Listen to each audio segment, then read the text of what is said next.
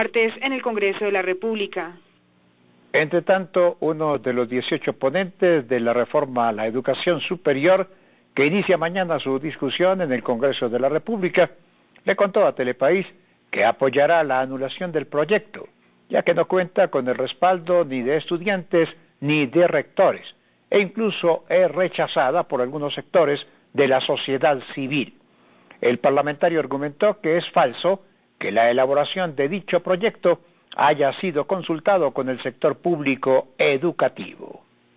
El representante Carlos Amaya, el más joven de la actual legislatura, es uno de los 18 ponentes de la reforma a la educación superior que mañana inicia su trámite en la Comisión Sexta de la Cámara. Amaya considera que la iniciativa debe ser retirada, pues no fue concertada con los actores del sector. Yo creo que es sabio que la ministra en un acto democrático diga, bueno, retirémoslo, creemos una constituyente universitaria, más que es un ejemplo para el mundo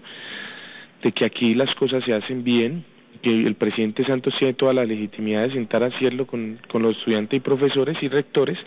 y después de seis meses o cuatro meses, un semestre de discusión y de ese ejercicio democrático, lo radicamos al, al Congreso y ahí sí lo respaldamos con todo y lo sacamos adelante. Esta polémica modificación de la Ley 30, que ha sido objeto de marchas, manifestaciones e incluso enfrentamientos, no responde a una verdadera transformación de la educación superior, asegura el representante.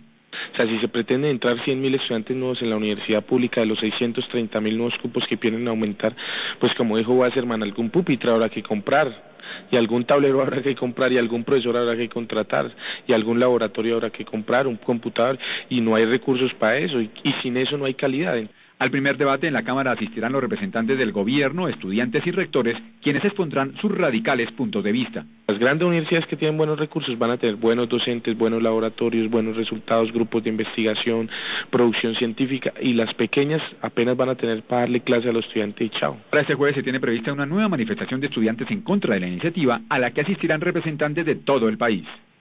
Para estar en la jugada, exige los